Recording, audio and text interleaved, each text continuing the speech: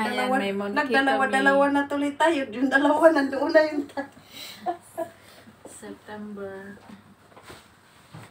Ganda ng box. Ba't pinatong mo dyan? Yan, pinato. Akit ko to sa ano, Si Miss Janet pa yung nagsabi, "Pin- ipato. Ito pala yung lagyan natin sa baon na Pero- Pero, ko, hindi pala nauwi. Ang ganda ng box. I-open nga, Janet. Para mabidyohan natin muna yan. tayo, hindi pa naman siya alis. Hindi kasi Ayan. na gusto Ha? niya ilipat yung Para may laman naman. Anong babaka rin nila? Oo. Yan, mamaya na, eh, kain ka muna. Pakape muna. Kaya nga. Relax, Kape- relax. Kape ba tayo? Relax. hindi kayo nagdala ng kape? Ano? Mayroon doon. Ma'am Ay, mga ano. Kasi mabait yan, mabait si mama, mabait magbigay. Mabait yan. Si Ma'am Joanne Opting. Ayan. Ayan. Opting. September. September, ah, Christmas coming. Mayroon pa kaming saging. Nag-explain pa si ano.